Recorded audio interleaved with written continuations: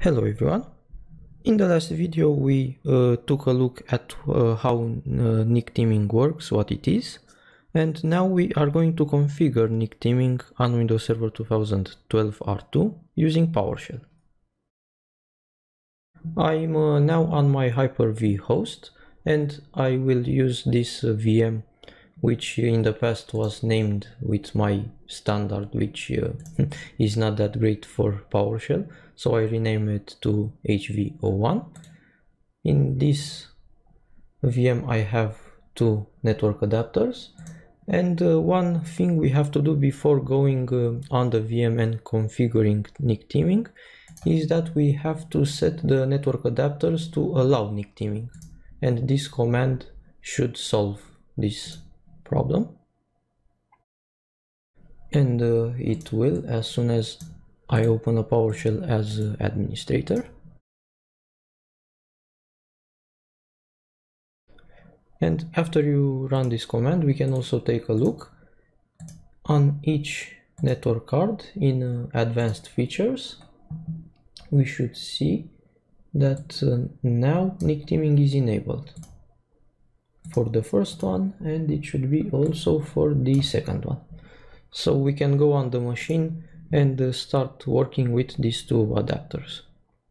So now I'm on my virtual machine and I'm uh, directly uh, through the Hyper-V console because when we will be configuring NIC teaming I will lose connection to this machine.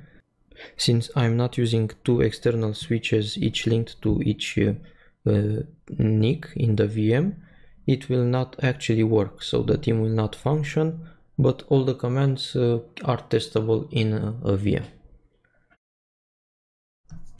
and with the first command let's get a list of our network adapters on this server. And you see we have two of them.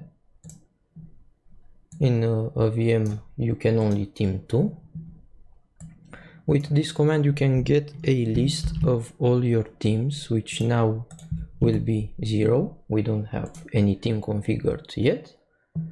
But with the next command uh, we will actually do it. So with net uh, new net lbfo team, we can specify a name which is public team.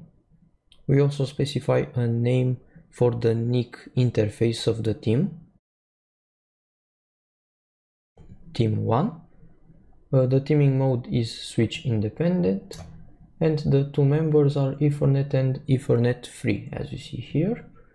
And since I am not specifying which uh, load uh, algorithm is used it will use dynamic. This is the default. Let's create our team. Now the team you see is uh, created and uh, if we run the get net lbfo team it will show us the same thing. We can also get a list of team interfaces either for all our teams or for a specific one. Let's uh, in this case let's get everything. And here you go. This is the team interface team 1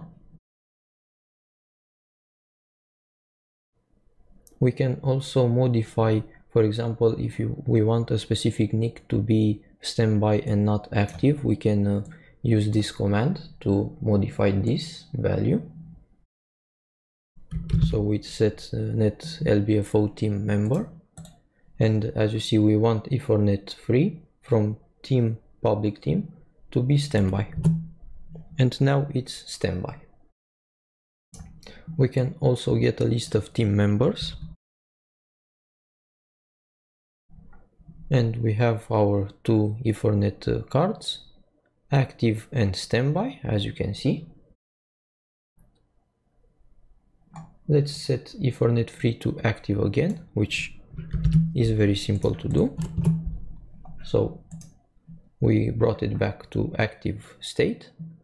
We can also remove uh, an, uh, a NIC from our team with uh, remove net lbfo team member so now our team has only ethernet uh, as a member let's add again Ethernet 3. So now it's again added to the team. And the last command is to actually remove the team. And since uh, it actually doesn't really work, I don't have any use for it. I just wanted to test the commands. So let's remove it and now we don't have any team anymore now again we have two normal network adapters but uh, in this short video you saw a run through of the most uh, used and useful I guess commands for NIC teaming that you may need to use in your automation. If you enjoyed the video then I would appreciate a like and a share, also consider subscribing and I'll see you in the next one.